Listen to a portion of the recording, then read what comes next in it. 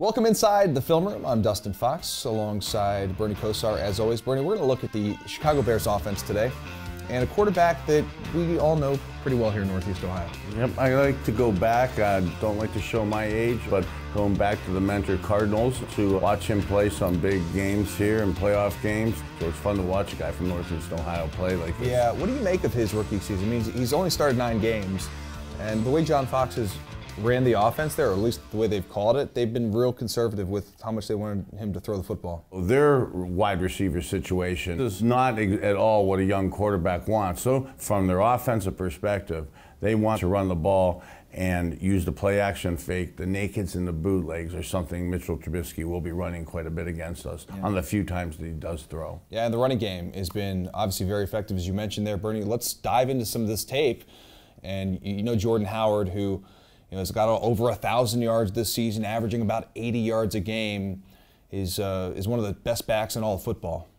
Yeah, and he does a really nice job here. You can see some of the fundamental ideas that Chicago has.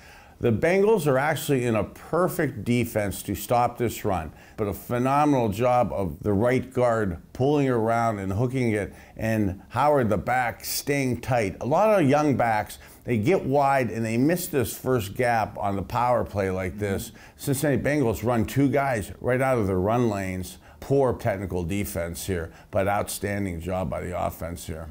At 22, he's got to be much more patient. I mean, that should have been his play to make. And that free safety, Brandon, look at this free safety for a second here. This is a run play. You know, he's backing up, he's hesitant. He's got to get up there and make that tackle. Well said. I mean, everything here says it's going to be a running play, even down to the right guard with about a half a step extra depth in his alignment. These are the type of things Chicago's been doing throughout the year to, to take the heat off of, of their rookie quarterback.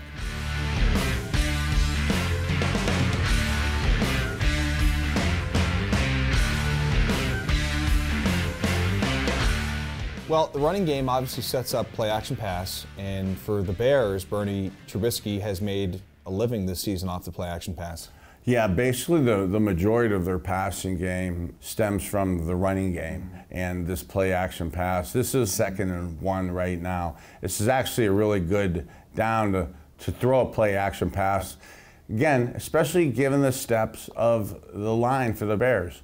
You saw in the last play, on a running play, the whole offensive line in unison was reestablishing the line of scrimmage down the field into the end zone it would be if it was a running play.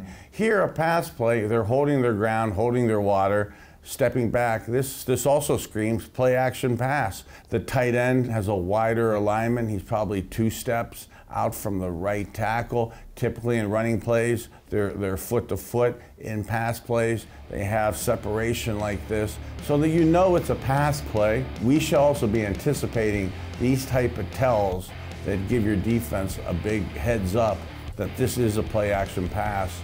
And Trubisky shows fantastic touch and you can't beat a perfect throw. Thanks again for joining us inside the film room. He's Bernie Kosar. I'm Dustin Fox. That was a look at the Chicago Bears offense.